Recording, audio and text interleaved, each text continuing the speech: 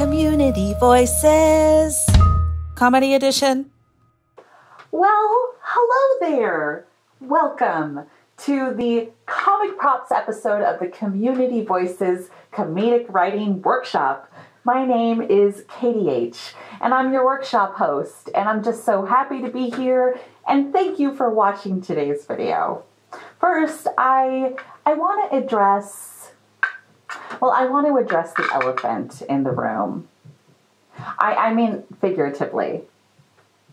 Okay.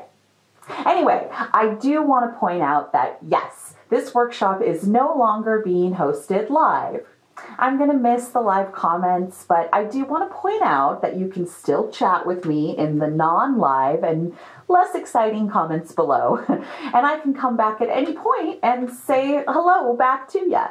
We just realized that over the past couple of weeks of offering these workshops that offering some non-live alternative videos when the actual workshop doesn't require live interaction. Well, these types of videos, they reach a whole other audience. And after experimenting with our satire episode last week, we saw a lot more participation from our viewers. So this is a workshop that people want to check out later. So we're making that accessible to people. So welcome to our new format and welcome to our new participants. Please feel free to check out the old workshops on this playlist. And if you're new today, great! Thanks for being here. So good to see ya. there is still time to get inspired and to develop your own short piece with one of the many different comedic writing genres. And just so you know, newbies, each workshop has a new style. So today we are starting over and digging into the world of using comic props as a central focus in our driving comedic dialogue. There are many, many, many, many examples of this style, and today we are going to discuss a few and get you inspired to write about your own comedic prop idea. Now, obviously, the use of props is a gigantic scope in the world of film and theater and television. This is a really important world that helps tell the stories of so many different mediums. These pieces on stage and on TV help tell the story of the character and often drive the plot of the story. And there are many, many, many, many, many important props in just about every play that you can read. So when I talk about comic props, specifically for this workshop, I mean props that drive the comedic elements of a performative script. I'm going to share with you some classic examples so you can start to visualize what I mean. If you can think of your own, go ahead and put them in the comments below. It might help someone else visualize their own ideas for this prompt. In film, some classic comedic props that come to mind include the iconic forks and dinner rolls made famous by Charlie Chaplin. Do you remember that image of him dancing with the rolls on the table? Uh, something a little more inconspicuous, I think of Holly Golightly's two foot long cigarette holder in Breakfast at Tiffany's when she danced around that party and smacked different people with it. I also think of Mary Poppins' medicine bag, full of random items that just seem way too large for that bag what a wonderful scene from my childhood that I think about all the time. and then I think of the Grail from Monty Python and the Holy Grail. This is the item that inspired the title and inspires all of the action in the very ridiculous film. And in the classic sitcom I Love Lucy, well, I Love Lucy features many episodes centered around comic props. Can you remember the Vitameatavegamin episode or the Chocolate Factory episode? And there's one episode where they go home and visit Ethel's family, and Ethel's family all think she's famous, and then all of her friends crash her performance while she's home and do all these funny things behind her while she's singing, like they carry a tree that grows in size, comic prop, or there's a moment where Ricky comes on stage after a sign that says man eating tiger and he just eats this little plastic figurine of a tiger. It was very funny and all centered around comic props. In theater, there are many, many, many, many, many important uses for comic props. Can you tell I'm using the word many a lot? I just want to give you the idea that we're just scratching the surface of this idea. And because there's so many important uses for comic props in theater, I'm going to jump right into the discussion that I had this week with the Old Globes prop master, David Buess. What a treat. I invited Dave on because throughout his incredible career of building props for shows, he's had just so much wonderful insight on what makes a really great comedic prop. And I'm pretty sure he's going to inspire you. So let's check out that chat right now. Hello, Dave Buess. How are you doing today? I'm great, Katie. It's good to be here. Thank you, you for being here. Thank you for joining me today in our exploration of comic props for this workshop.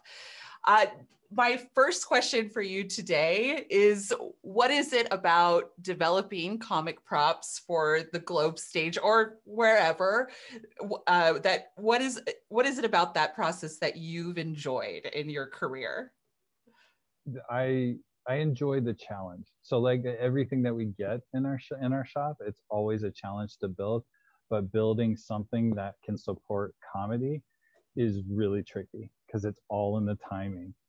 And so that yeah that's the fun part about it. So that's a really i love hearing those words all in the timing. That's a really big element in writing comedy. And what i am i, I today i asked Dave to bring us a couple of examples of different props that have existed in different worlds that have served the purpose of moving forward the comedic storytelling of these pieces. And I believe you brought some examples in a couple of different categories. What what are those two what are those categories for us? Well, the the the way that I look at it, the two kind of categories I break it up to um, are sometimes a prop can be funny by design, and other times a prop can be just an ordinary item that draws out the comedy. So those are the those are the two aspects that I look at it. Okay, well, uh, what's your very first example, and what world does that live within? Well, I'll start um, with the the ordinary props because it can be anything that's like uh, it could be a tanker and the you see somebody drinking, and then all of a sudden they throw confetti at the audience. We got a props guy. He's got comic props. exactly. All over. Oh my gosh. you're you're you're channeling Gallagher. exactly. I love that image. But yes. Yeah. All right, so let's go ahead and take a look at the first prop that you brought for us well, I was gonna. Oh yeah, no, the first prop I was. It's it's just a shot of noises off. Okay. And um, it's the sardine plate, and this is definitely one that is another ordinary prop that draws so much comedy through that whole play. And I mean, for those of us, I mean, I've seen it, but for those of my audience who hasn't seen Noises Off, what do, what ser- service do the sardines uh, give that that's that play? They, it, it's a it's a prop that keeps drawing action because in our world, um, so much of our world is about handoffs and receives and what are the what's what are the actors carrying and and a lot of the times if if a if a prop is written into the play there's a reason the playwright has put it in there and so it, if it is to draw out a laugh like the sardines do in the show because they're they're on a plate or at times they're spilled and they're causing action there um, or they're um, dropped and somebody's slipping on them and there's drawing action there. So it's it's definitely something that you would not think is funny to just look at but then in the setting just is so funny and like and to what you to what you said it's a normal thing. Sardines are normal. People eat them and they are a part of people's lives. But this normal thing and the setting of noises off becomes elevated. And the and and the playwright utilized it as a tool to explore different worlds of comedy in many different ways, like you mentioned, from slipping to dropping to showing up in weird places. The, the sardines are a wonderful anchor in Noises Off to continue to explore and find fun ways to explore in, in the performance. Um, exactly. Um, let's move to, to your next example. What else have you got for us? So on the on the other side of that the the ones that we build that have to have a timing or have to to interact in a comedic way um, are are just as challenging. Um, and one of the first ones that i'm going to show you here is it was um, for the show imaginary invalid that we did um, a couple years back. And it was just it, from when you originally looked at it it was just an ottoman. And this ottoman um, was put built on a lazy susan so that it could actually spin because there were comedic moments where the actors would lay on it and then get spun. Um, but then the climax of this prop is that it actually opened up and revealed the gates of hell as we called it and they sent the main character down into the ottoman and the ottoman kind of swallowed him up. So it was it was one where you get the ta- you get the you get the notes and you're like we have to build what? And you see what the actors do with it and you're like this is hilarious. Is it a collaboration when you when you create a prop like that? Is do you find yourself in the development process during the rehearsal because you're working with actors as they use it? Oh yes. Yeah, yeah we, we we built a mock-up and we had to put it on a table just to we we collaborated with the director first and then with the actors. And then we had to in building our prototype push the actor down the chute to see how we were going to catch him in the trap. And um, if the doors of the ottoman would actually hold up um, to that much repetitive action. So it was yes there was a lot of collaboration with it. And then and then that's that's just with the actors in the prop shop.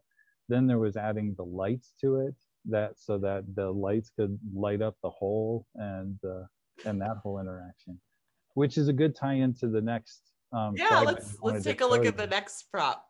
Um, it's uh, the, in the show called Meteor Shower um, by Steve Martin, and um, there's a character that gets has a comet basically blown through or a meteor blow through his stomach.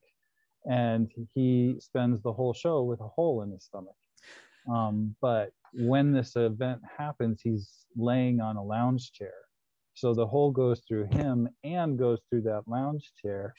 And so when he stands up we have this perfect hole that's smoking and light is coming from it like the burning embers and so that was a collaboration with lighting that we had to do and sound to get the timing of that so you made the lawn chair basically it kind of appeared to explode on st- uh, on st- wow yeah. you're absolutely right because it was i mean before that scene you everybody looks at it and you're like, oh, that's just an ordinary lawn chair. And then the character lays down and fl- lights flash, and he gets up, and we had to sink that whole part of the ottoman and the ground so that there was a hole for the rest of the show. oh my gosh! Yeah. that, did it take a while to get the time? That was a tech related collaboration. Oh yeah, yeah it took a while to get the the the build and the effects just right for that. Um, what I what I really love about this conversation is that there a lot of times in in the world of theater we work at a scarcity place, and you get to have the really creative opportunity to take these otherworldly ideas and make them and make them a reality and, and especially in the world of comedy. Like i personally have seen our props department make some of the most incredible pieces of of comedy happen on stage as these beautiful pieces of craftsmanship. I think about it all the time what, what you're all capable of doing. Um, did you want to share any other examples with us Um, yes, it's Yeah. funny you mentioned it because it's it's really the resourcefulness because I mean not every time, not every show will you have a huge budget. So it's really you have to get very creative on how you you make that happen. And and the next slide that I was that um, I'll show you Yeah. was for underpants. And so in this show we had we had to bring cats and a bird to life and then interact with the actors. And so when you're sitting there going, okay, we have to automate five cats and a bird, and they all have to do these things, you're like, oh, this is not a small task. So with the with the cats, we actually were able to purchase like for real cats. So there's these little like um, comfort stuffed animals that have they react and have a little motor. Um, They're so creepy. I've seen them in real life. They're very creepy. yeah. So it was it was it was interesting because we we had to take that take that creepy factor out of it, make them look more real. So we actually did do some taxidermy on them. they were still a little creepy. I'm gonna be Oh, yeah. honest. Oh, yeah. that, that added to the fun. But but then we we had to take simple motors and then like when they were just sitting on the stage um, a half an hour before the show started, we had their tails just kind of moving or or a paw like just kind of petting itself to make it look like it was grooming. Um, and so each one had its own little characteristic. Uh, but then the other fun part is that when the actors came on stage, they picked these things up and threw them off stage, and there was a sound effect of a cat screaming. and that's why we would never have real cats ever. I don't know how you could ever do a Steve Martin show with real animals because it's just not, not no. It's just not a world where real animals would serve it. Oh, not at all. I mean, even the bird. The bird is another slide you'll see in this, and that I mean, the, it's written in the script that the bird caws at certain moments, and and it and it it it uh, accentuates that that comedy. Like you have somebody saying something and the bird reacting to it, and the other characters then catching on. I love your job. You've got a great job. I have a surprise question for you. And if you don't know the answer to it, no one will ever see this. We'll edit it out. But if you do know the answer to it, here we are. Um, have you ever had um, a, a prop become comedic in a play? Maybe A not intentionally. because I've experienced that, and I'm wondering if if Oh you've ever experienced that. Wait, no, tell me your experience first. My experience. yes. Well, I mean, I've I've been in shows where like uh things will fall from the walls in a perfectly timed manner, like a, a in suspense. Um, I've had misplaced props before. I once was I was once in I was once in a play where I was supposed I had a I had a prop gun and I murdered somebody in the play.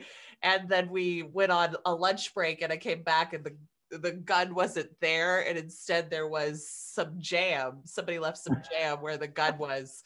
And then I had I used the jam to kill them instead. I said it was poison jam.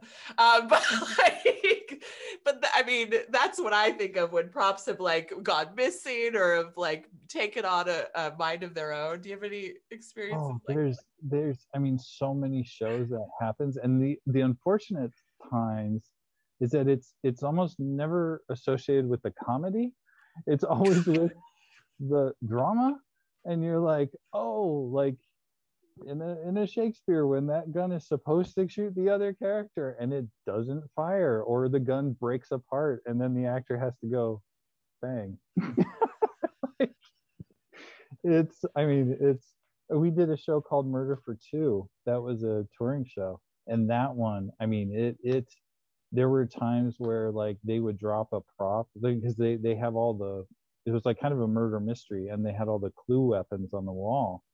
And um, in all of their physicality, like sometimes they would get tangled up in one and have to use one of the other weapons as as a gun or as a candlestick, and so it was very free form. But it was, it, it what's wonderful is when you see an actor really take on the the comedy of it and then roll with it because and and that's i think that's an important part of having our job our props in rehearsal is that the actors get comfortable with those props so that they they they in their heads can can figure out other things to do with it. Uh, like even from the example of i mean there's it's written in the show but in uh, forever plaid when all those guys are using the um, plungers for one of the singing moments and they come out and they're like this is the only thing we had. We didn't have microphones. And they plop them on the ground and it makes that great sound effect um, but then the comedy that ensues with them just carrying those things and dancing with them and poking each other it's hilarious and it's just a, a long handled plunger like and imagining them performing with a plunger instead of a mic is also a lot of fun. Yep. I think that that I think that that's a perfect place for us to to wrap up our conversation today. I wanted to add the element of mis- mistake props becoming funny because that might be something to inspire a play of somebody's. That might inspire someone's work. Just the element of of dealing with a, a, a material item that goes wrong is a very comedic element to explore in writing and could definitely inspire some really really juicy, juicy scenes. But I do want to take a moment to thank you, Dave, for bringing your expertise and your examples. They're a lot of fun. And oh, you're, I, I continue to believe you have the funnest job at the Old Globe. And, you know, thank you so much for being here and sharing inspiration with our participants today. Oh, thank you so much, Katie. This was great. okay, we'll see you next time, Dave. Bye. Hooray! Thank you, Dave. What a treat. It's always a pleasure to talk to you and hear about your really incredibly fun job. now, we're going to get to help make Dave's job even funnier, and I hope that you're feeling inspired to explore your own comic prop scene uh, and that you're going to get all that inspiration into developing and writing your own piece because we are jumping into our writing prompt for this week. You can find this prompt in this in the link in the episode description and in the comment from the old globe in the comment section. This link is going to take you to the prompts for this entire workshop. So if you're new, you can check those out and participate in whichever one you would like to. And for this workshop, you're going to grab the props prompt specifically. That is a mouthful. Uh, and if you can't get there right now, that's okay. Here's what you're going to explore this week. First, I'm asking you to do a lap around your house, your apartment, your bungalow, your bathroom, your bedroom, whatever you feel comfortable, do a lap and find some of the most unique items that you own and then contemplate them. Feel them, smell them if they're not stinky, and see what inspired you to just pick them up for this moment. And then I want you to pick one of these items for the purpose of this prompt. First, describe it. Describe it as in detail as you feel. Number two, why did you choose this item for this exercise? There's probably a reason why you came to the decision of choosing this item. Why? And then finally, for the purpose of this prompt, I want you to choose one of the ideas here to explore in a short scene. You are either going to give this prompt a voice and use this scene to explore this item attempting to get whatever this item wants. There's been a lot of creating uh, human qualities in inanimate objects in film and television, and it's usually very funny. So give this item a voice if that inspires you. Or create an elevated value of this item that forces the characters around it to go to great lengths to have this item or keep this item safe. There's nothing funnier than a bunch of people really, really, really trying to protect a lava lamp or any various item. Or if you are inspired to write a scene centered around a different comedic idea or concept, hey, go for it. Props can inspire lots of comedic ideas, and I just want to empower you to run with your own concept. In fact, the previous ideas are just there if you really can't come up with one for your prop at the moment. No worries. And as always, if you really love your scene or if you just want to chat about it, send it to me at kharoff at theoldglobe.org specifically for the chance to be a part of our upcoming Funny Festival in April. I can't wait to read your newest work. It inspires me all the time. And that's it for today. From me and my tiny little hands to you, I'm signing off and saying, see you next time, funny people. Ha ha ha ha ha ha ha ha ha ha Community Voices, Comedy Edition.